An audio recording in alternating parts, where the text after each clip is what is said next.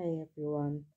I just come from a day out. Um, it was really nice. I had my first vegan meal, like entirely vegan for the first time ever, and it was really, really good. It was, of course, it was vegan junk food, but yeah, I had my vegan meal for the first time ever.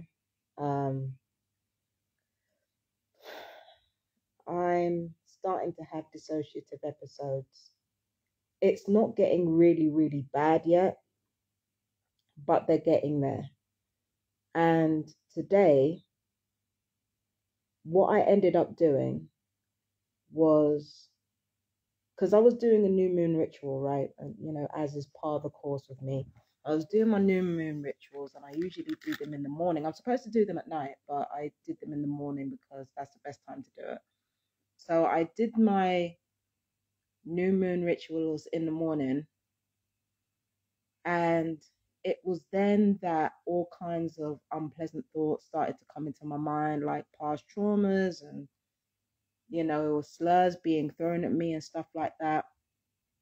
So every time they came into my head, I would practice martial arts punches and kicks that I'd been practicing for years. Now, I'm not good at martial arts, but I remember a few moves from when I learned um, a martial arts discipline, right?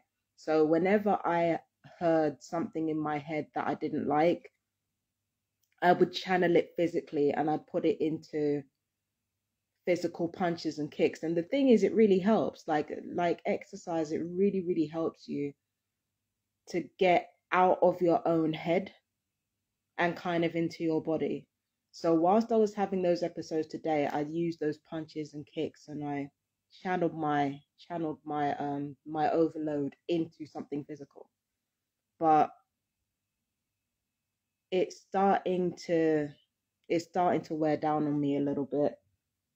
I'm not going to lie to you between these fucking kids upstairs trying to make entertainment out of bullying me every day and I mean almost every single fucking day between that family's you know constant machinations trying to like trying something or other I don't know what the fuck they're doing I don't even care anymore between all that for the last few months and this gang stalking situation that's basically involving like pockets of the community all over the place. And you know everything to do with the council and the landlords and you know and just money problem well i actually haven't had any money problems not not big ones anyway. And just everything is just getting on top of me. Like, and the thing is, is that I realize why when I get in a familiar familiar situation, if I get in a familiar situation, I start dissociating. The reason for that is that when I'm in a more high stress um, situation than this, and I'm in a more high octane situation than this, I'm completely like, I don't dissociate. Um, I don't get any of that. I don't dissociate. I don't lie down all day. I'm not depressed all day. And it's not because me being constantly active is necessarily a healthy state for me to be in.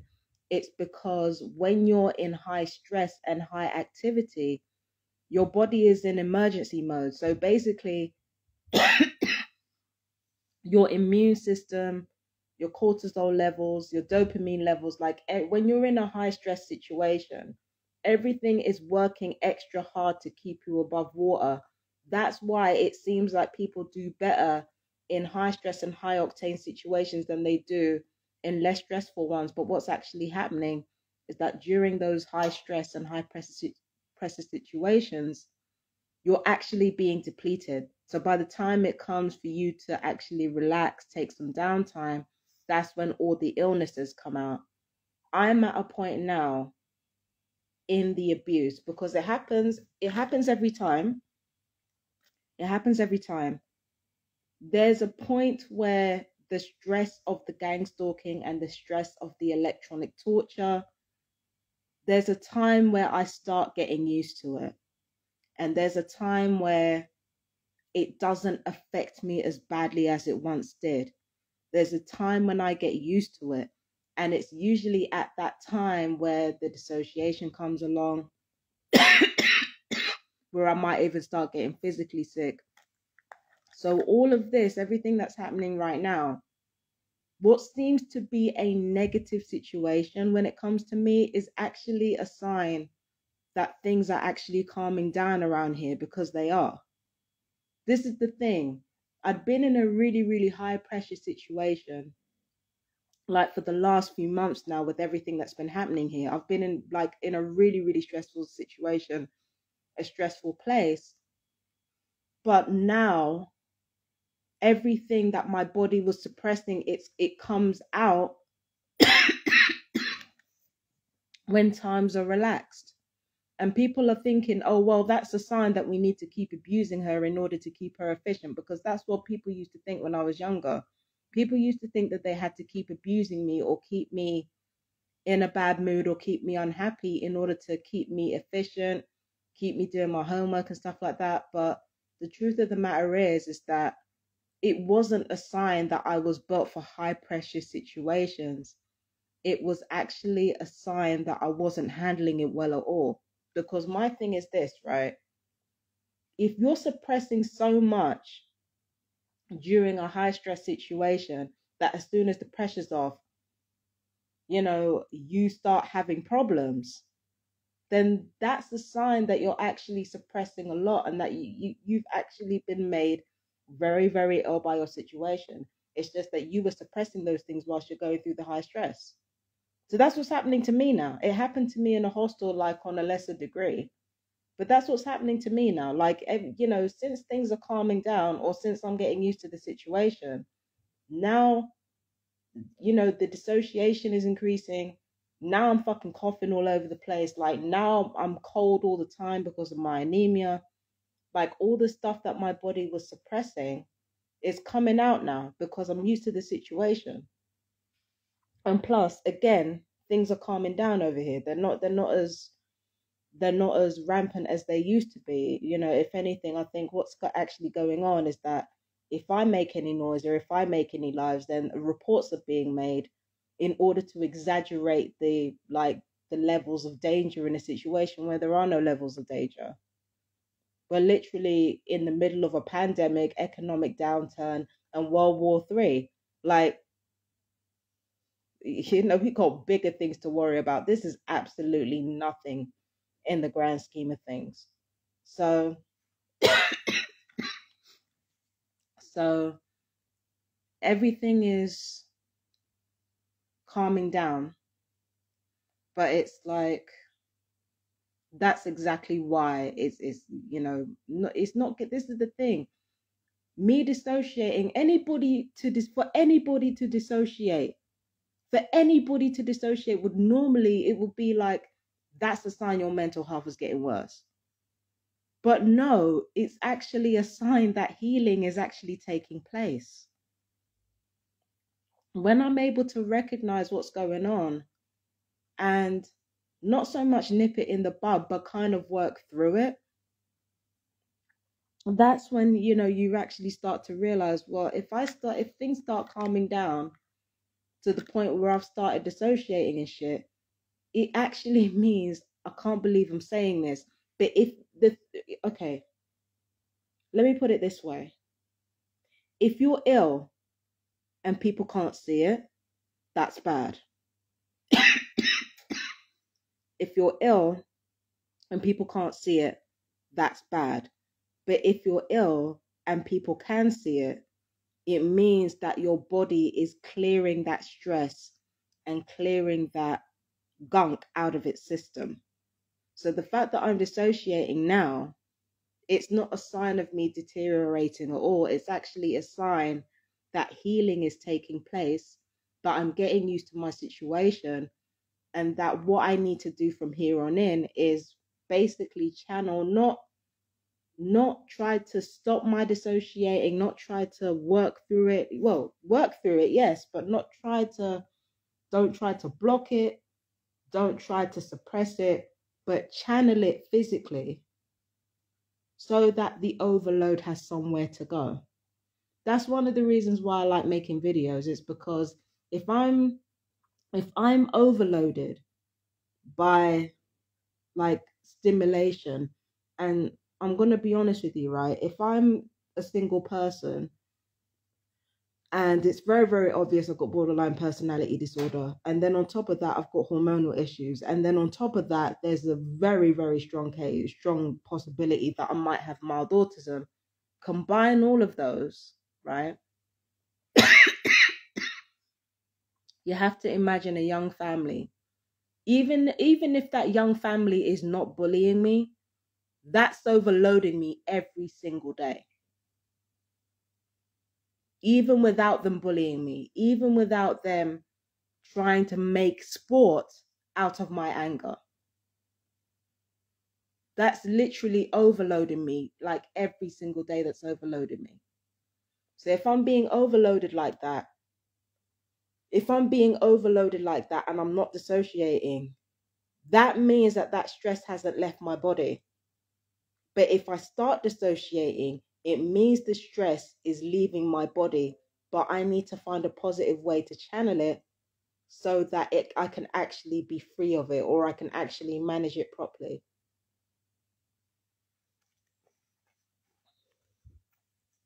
So this is the thing that I'm talking about.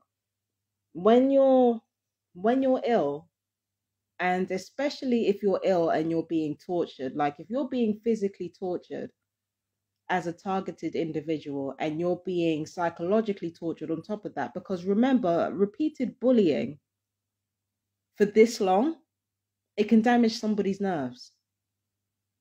Remember, it can damage somebody's nerves. So repeated bullying for this long it can damage someone's body. So basically, for, for anybody to be bullying anybody that long, that's fucking grievous bodily harm right there.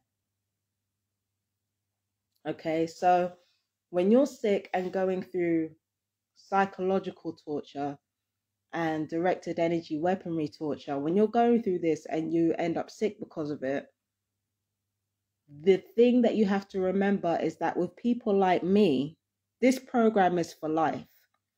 And the crux of this program is to affect your psychology. So that is where you really have to focus. Nutrition is very is, is very overlooked.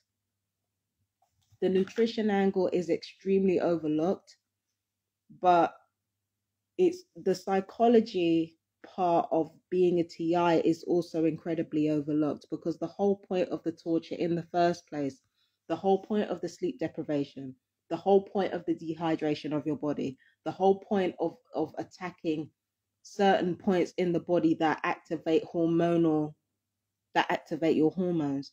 All of this is designed to keep you, to, you know, to always have you on a pendulum and to never have you steady.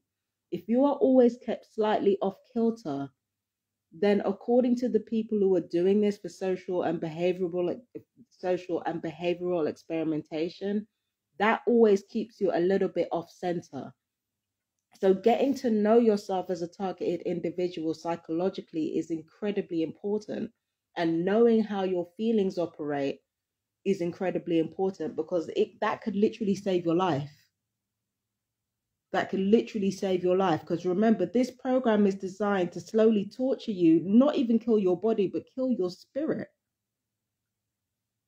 So coming to con- coming to grips with your feelings about having to live in two realities at the same time this fake world that everybody else is creating and the real world where there's trafficking going on having to kind of you know, uh, in the real world, well, not only is there trafficking going on, but it's connected to social control.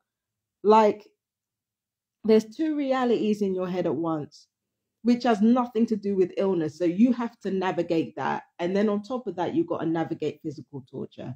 And on top of that, you've got to navigate psychological torture, all of which erodes your body and damages your body over, over time. So you got all of this shit to deal with.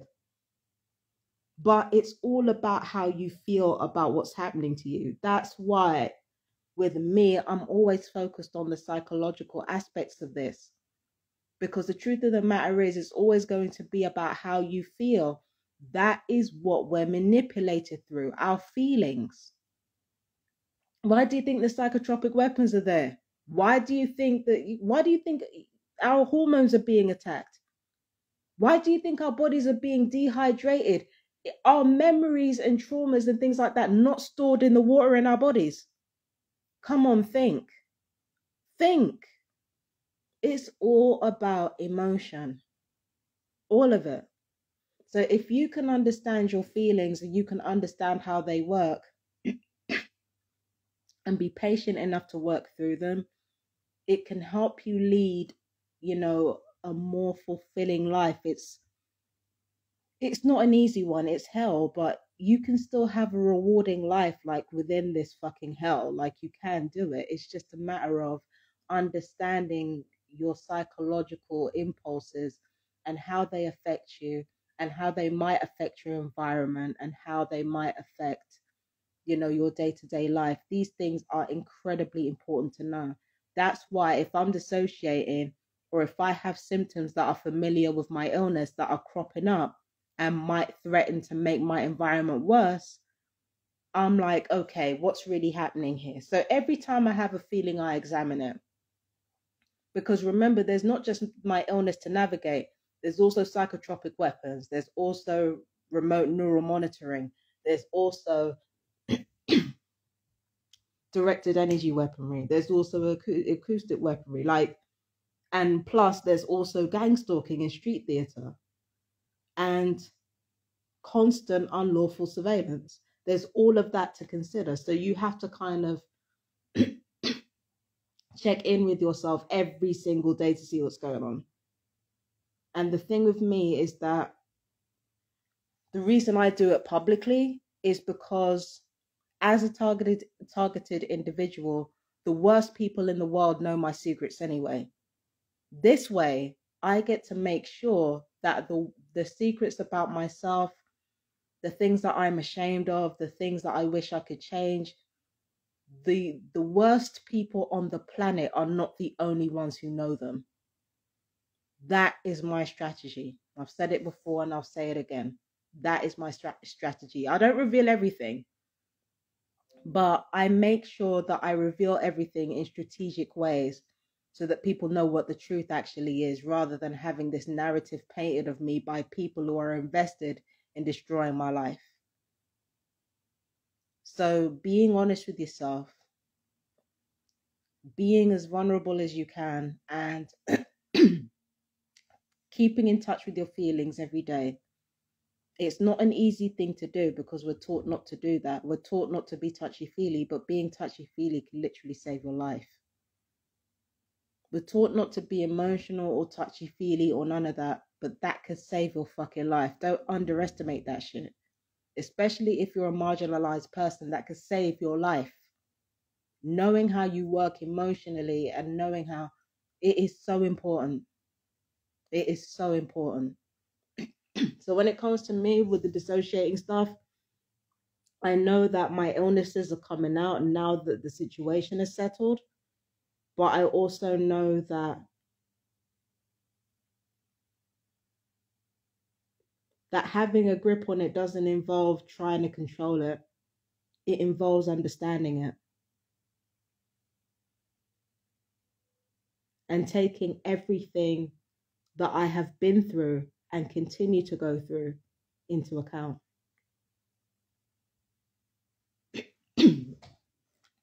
so, yeah, um, not fun, but it's just one of those things that you have to kind of live through. I mean, with the dissociative episodes, the truth of the matter is is that they could they could probably be triggered. I mean, the CR1 part of the brain, if that's that's aggravated enough and it can be aggravated by electronic weapons. Electronic weapons have definitely been fired on my head. So the CR1 part of the brain could definitely be triggered. It can definitely be, you know, they've been firing at my frontal lobes. So there's who's to say that the CR1 part of my brain can't be damaged already? It's very easy to synthesize psychosis with electronic weaponry. All they have to do is fire it in the right place. So I have to navigate that. But again, coming to grips with your feelings as a TI is going to be extremely important to you. It's probably even more important than the physical stuff because once you get a grip on how your emotions um you know how your emotions are manipulated and how that affects your behavior how like your emotional responses to things like pain and pleasure and understanding all these things it can actually set a more solid foundation towards more physical solutions like you know like engineering like you know frequency frequency stuff like stuff to help the frequency situation. Um i'm being vague for a reason because i don't want to reveal too much yet. But you know knowing who we are emotionally is the key to knowing who we are physically. And knowing how to you know knowing how to emotionally connect to our experiences properly is what helps us to properly solve the issues that are in front of us. So when I'm dissociating, I'm honest about it. When I when I go through certain things, I'm honest about it. I don't hide it because at the end of the day, hiding it it doesn't help anybody but the gang stalkers.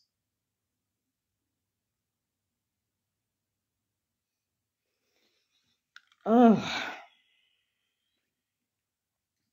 so yeah, the karate stuff that I was well, it wasn't karate. They keep calling it karate. I, don't know why perps keep calling it karate. It's not karate, but um, you know, the martial arts stuff that I was doing during my ritual, I was reported for that. That's what, or at least that's what I heard anyway. I don't, I don't know what's going on there, but it's just it's just like this is what happens.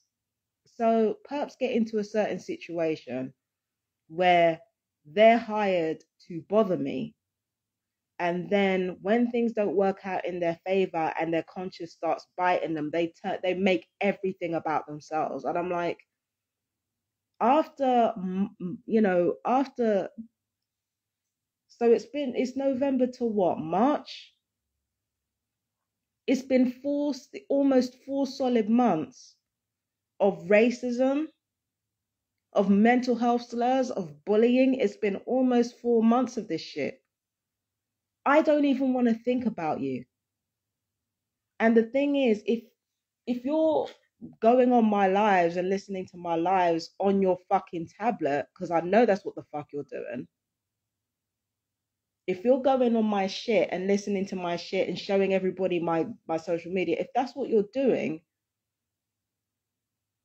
then you know you should know by now through my interactions with you that if I wanted to threaten violence, I would have just done it. And not only would I have done it, I would tell everyone.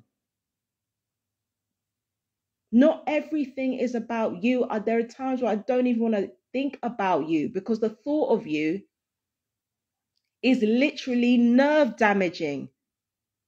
My legs get weak every time I come home. You literally damage my fucking nerves.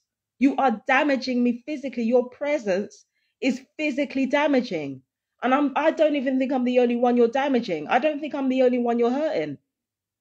I don't even want to think about you. And yet you are obsessed over me because your conscience is biting you and who else are you going to tell that you are part of a behavioral control initiative masked as community policing? Who the fuck are you going to tell? Really? Of course your conscience is biting you. And of course you're fucking scared. And especially knowing that that social and behavioral control that you've been engaged in through your psychological torture of me has wider consequences.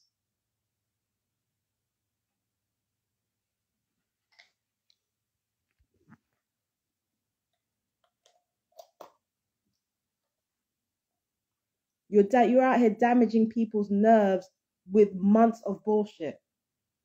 You're out here damaging people's nerves. And you, you want to you want to turn everything into you always have to bring the focus back to you. I'm sick of it.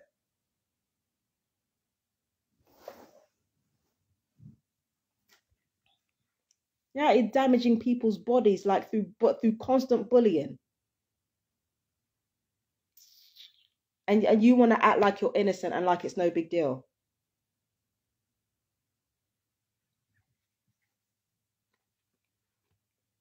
but anyway anyway i gotta go you guys my fellow TIs, take care. Um, I hope you were able to make sense out of that jumble because to be honest, like my ADHD is so fucking bad. I can't make sense of what I've said until I go back and listen to the fucking video. But I hope everything that I've said makes sense anyway. You guys take care of yourselves. I love you. Bye bye. Oh. I'm sorry about this. Hang on.